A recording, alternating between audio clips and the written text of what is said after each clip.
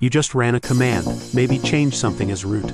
Then you restarted your Linux system, only to find yourself stuck at the login screen.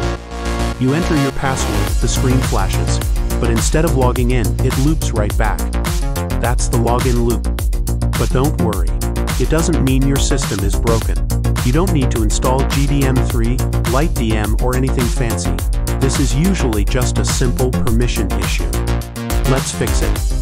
At the login page, press Ctrl plus Alt plus F2. Log in with your username and password. Type this command. If it says it's owned by root, that's the problem. Let's fix it. Let's remove and replace the distorted X authority file. It's currently owned by root, which blocks your user session from loading properly. This command gives control back to your user account. Replace your username with your actual Linux username.